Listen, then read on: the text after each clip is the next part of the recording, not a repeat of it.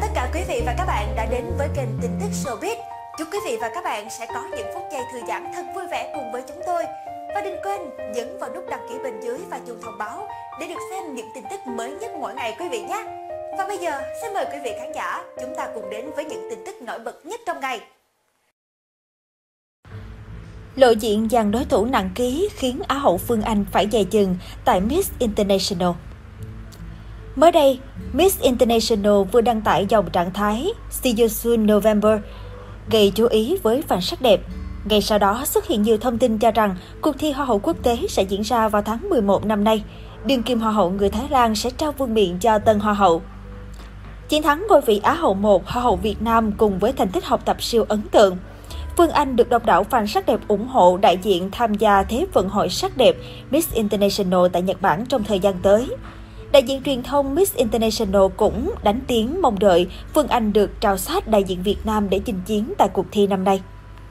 Sau diễn biến của dịch Covid, Miss International lần thứ 70 sẽ được tổ chức vào năm 2021. Hiện tại, cuộc thi đã có được 29 ứng viên tiềm năng. Đối đầu với các đại diện mạnh như Venezuela, Canada, Á hậu Phương Anh cũng được cộng đồng fan trong nước đánh giá cao bởi sắc vóc và trình độ học vấn. Tamara Jimovic lên ngôi Á hậu 1 cuộc thi Miss Universe Canada 2020 và giành quyền dự thi Miss International 2021.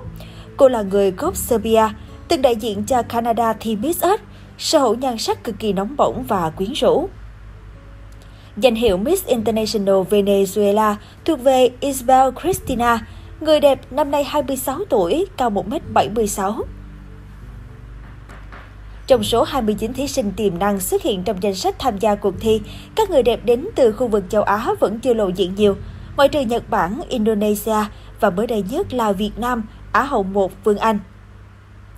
Miss International Japan 2020 trông khá dừ và kém sắc. Putu Ayu Miss International Indonesia 2020 Bianca Paduraru Romania Carolina Fernandez, Bolivia. Kenya, Sidi Isadis. Xin chân thành cảm ơn quý vị và các bạn đã quan tâm và theo dõi video. Hãy nhấn vào nút đăng ký bên dưới để theo dõi những video mới nhất được cập nhật mỗi ngày quý vị nhé.